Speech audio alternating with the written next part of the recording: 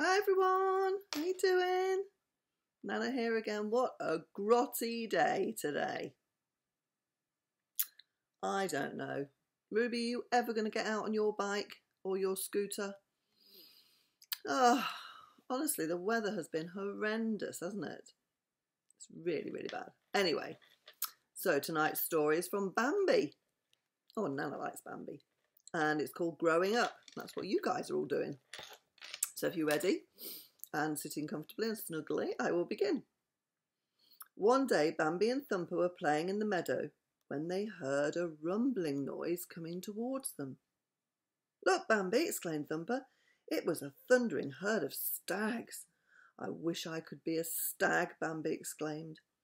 Well, you know what my father always says, says Thumper. I know, said Bambi. Eating greens is a special treat. It makes long ears and great big feet. No, not that, said Thumper. He says, if you want to hop well, but your hop is all wrong, then you have to practice all day long.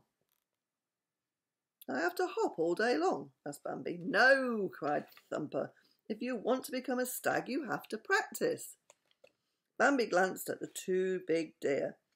They suddenly ran towards each other, locking horns to test their strength. Lower your head, Thumper told Bambi. Bambi lowered his head. Now what? he asked, staring at the ground. Run straight ahead, said Thumper. Bambi ran straight ahead towards the trunk of an old oak tree, but before he could get got there, a voice cried, Stop! Bambi did, skidding to a halt only a few inches from the tree trunk. Thumper and Bambi looked up.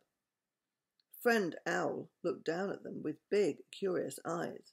Bambi, why are you going to butt my tree with your head?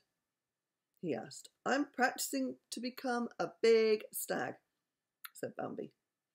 Friend Owl laughed and said, Bambi, the stag, stags have antlers to protect their heads, and, be, and becoming a stag is not something you can practice.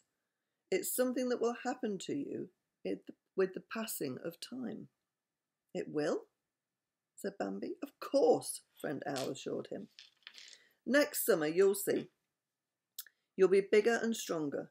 You'll also have antlers, and, I hope, enough sense not to butt heads with an oak tree.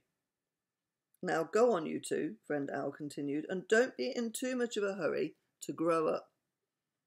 You'll get there soon enough, I promise you. Okay, said Bambi and Thumper. Then the two friends returned to the meadow to play. You don't want to grow up too quick, do you? Because it's good being young. You see the picture? Wow, look at the antlers on that stag. Beautiful, aren't they?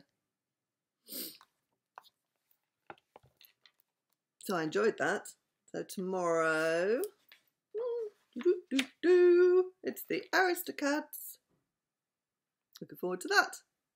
So sleep well, um, and I love you so much. I'm missing you loads and loads. Oh, Nana needs cuddles. anyway, I love you so much. It doesn't stop me loving you. And I think about you all day long. So you be good. I love you loads. So sleep tight. And I love you, Ruby. And I love you, Max. And I love you, Atty. And I love you, Torben. So be good, sleep well, and I'll see you again tomorrow. Bye.